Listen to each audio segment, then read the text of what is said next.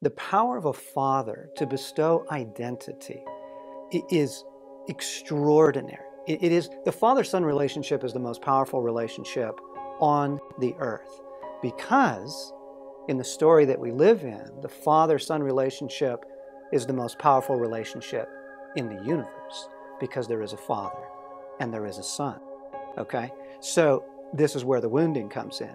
If that little boy does not get from his father, you are my delight. If he gets something much worse than that, he may get silence, he may get abandonment, he might get violence. If he does not hear from his father, you have what it takes. That's where the father wound comes in.